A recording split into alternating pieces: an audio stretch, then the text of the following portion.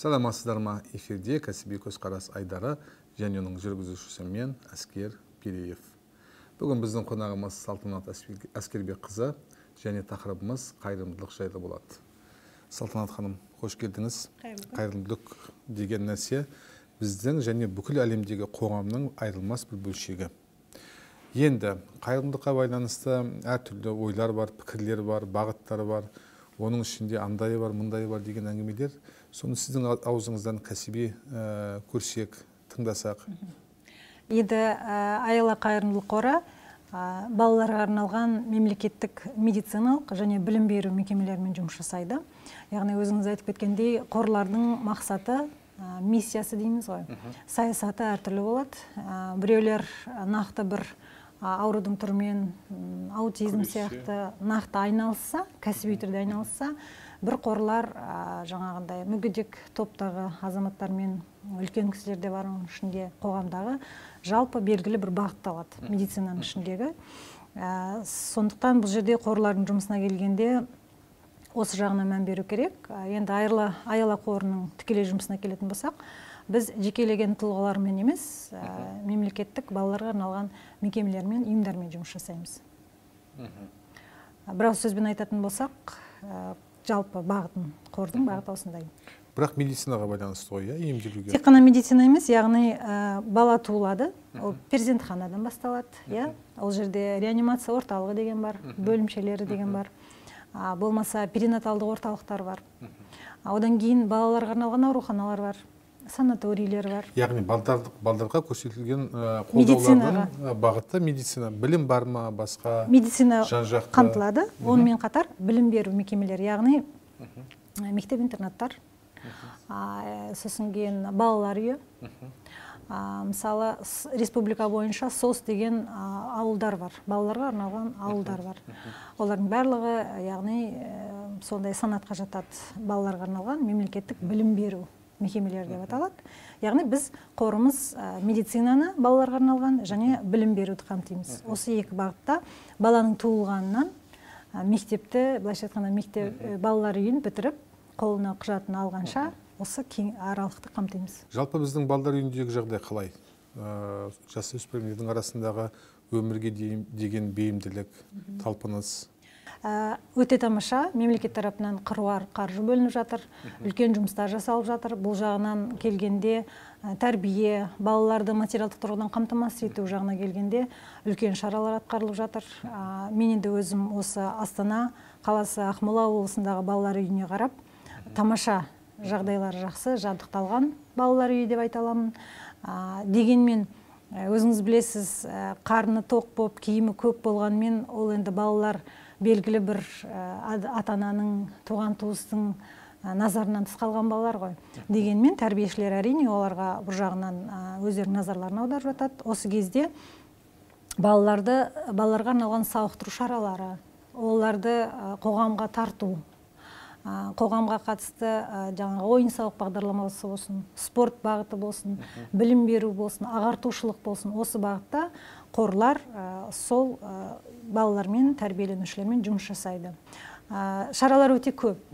Алматыда біз аяла қоры қазақстанның елу сегіз елді мекенінде жұмыс жасаймыз. Яғни республиканың түкпір түкпірінде шаралар жүріп жатыр. Алматыда астанада ақтауда осы қаңтар айының он жетісі күнді теміртау қаласында теміртау қаласындағы балаларға арналған ауруханаға біз тренажер яғни бұлшық еттерді дцп мен ауыратын балаларға арналған. Жалпы бұлшық етінде ақауы бар болмаса жаңағы ширатуға арналған жаттығуды қажет ететін балаларға арнайы матамет деген тренажерді тұсауын кесіп соны табыс еттік қордың атынан. Мысалы бір миллион жеті жүз елу мың теңге тұрады. Бір тренажердің өзі. Бірақ балдардың арасындағы ең үлкен проблема қандай? Сізден сіз сияқты қайырымдылық қордан күткен көмектердің ең үлкені ең көп болғаны қайсы түрі? Енді немесе неге қандай нәрсеге байланысты?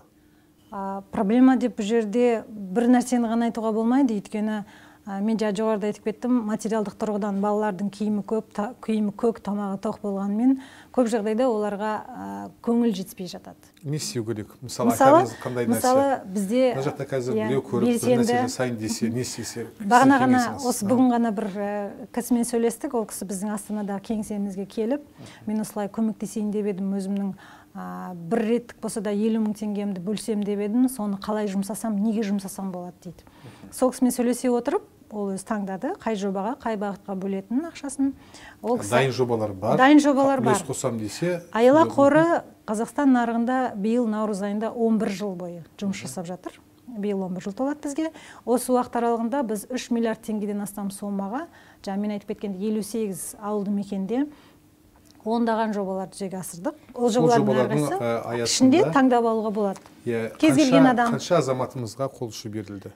Мысалы ол ол бір жобаны алатын болсақ жалпы мына он бір жылдың ішінде он бір жылдың ішінде ол әр әр жоба бойынша біз санадық. Әр жоба бойынша біз он мыңдаған баланың денсаулығына өмірін жақсартуға үлес қостық деп айтсақ болады демеушілердің арқасында.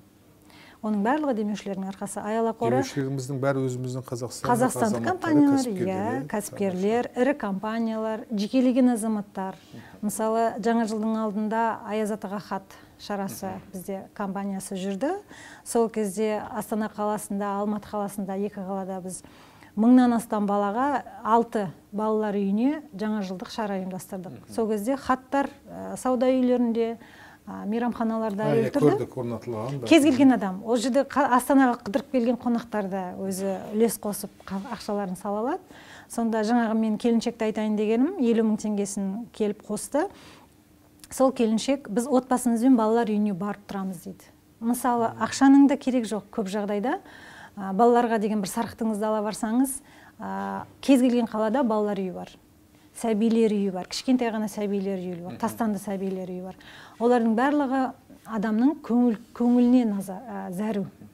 Сіз барып отбасыңызбен мысалы жұбайыңызбен болмаса жұбайы болса ә, несімен балаларымен барып ойыншықтарын бекен тәттілерін алып балаларға барса бір сағат екі сағат жарты күн демалыста бір уақытыңызды бөлсеңіз ол бала өзін былайша айтқанда ә, басқа балалармен ойнап сіздің көңіл күйіңіз сіздің жылуыңызға бөленеді мысалы сәбилер үйіне бару үшін ә, процедуралар бар дейді ол процедуралар. Өте қиын дейді. еш қиындығы жоқ. Қиындығы жоқ.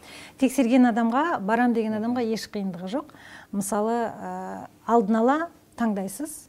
Мына балалар үйі болмаса сос балалар ауылы деген бар. Кәдімгідей балалар үйі бар астанада. Одан бөлек бізде ә, интеллектуалдық тұрғыдан кемістігі бар балаларға арналған мектеп интернат бар. Мысалы олардың ішінде екі жүзге жуық жүзден астам бала үйден оқиды. Көмек берем десеңіздер олардың барлығы қалада білім басқармасында тізімде тіркеуде тұр. Еш қиындық жоқ. Мектептің өзіне барсаңыз мектеп директорынан бастап мұғалімге дейін ашық. Сөйлесуге болады балалармен кездесуге болады.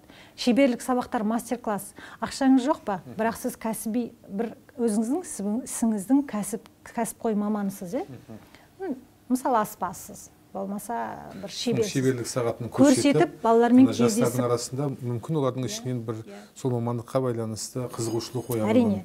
мысалы үлкен проблема бар. Балалар үйінде мынандай үлкен проблема бар. Мектепті бітіргеннен кейін балалар үйін бітіргеннен кейін төл құжатты алғаннан кейін бала қайда барады?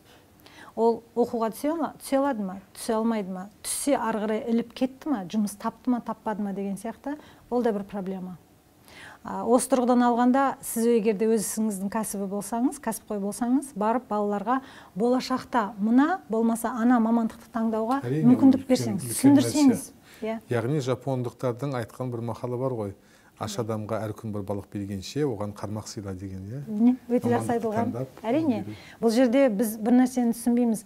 Біз ойлаймыз тіпті ата анасы бар отбасына да қарасаңыз көп жағдайда әкелер болмаса аналар мынандай бір үлкен менің ойымша қателік жасап жатады.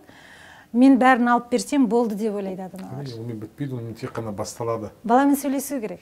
А, бұл жерде енді өзіңіз ойлаңыз әкесі жоқ шешесі жоқ ата анасы жоқ тәрбиеленушілердің жағдайы қалай? олар оларға кім көңіл бөліп жатыр? Әрине тәрбиешілер көңіл бөліп жатыр.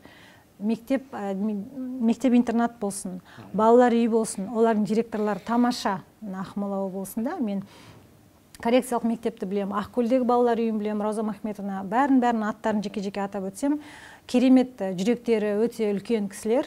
Олардың өздері балаларды бүйтіп құшақтарына алып беске біледі. Қай баланың әке шешесі бар демалысты алып кетеді мысалы мектеп интернаттың ішінде үйде келіп оқитын балалар бар. Ішінде әке ата анасы бар балалар бар. Ал бір бала бар ата анасы жоқ. Ол басқа демалыс күндері ол жалғыз өзі қалып қалады.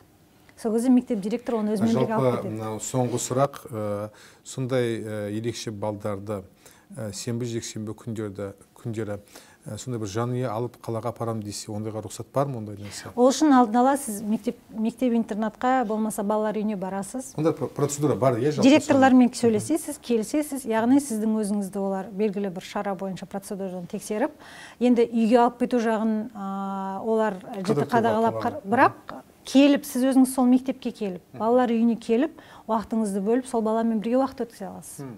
Ондай оған ешқандай кедергі жоқ. Салтанат ханым үлкен рахмет. Сізге жасап жатқан ә, жұмыстарыңыз ә, қоғам үшін өте маңызды.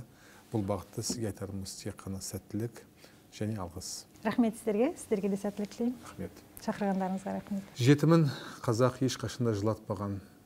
Балам деген ел болмаса елім деген бала қайдан болсын демекші. Балдарға жасөспірімдерге көзқарасымыз әрдайым көңіліміздің төрінен шықсын. Еске сала кетейін эфирде болған кәсіби көзқарас айдары. Сау болыңыздар амандықта жүздесейік.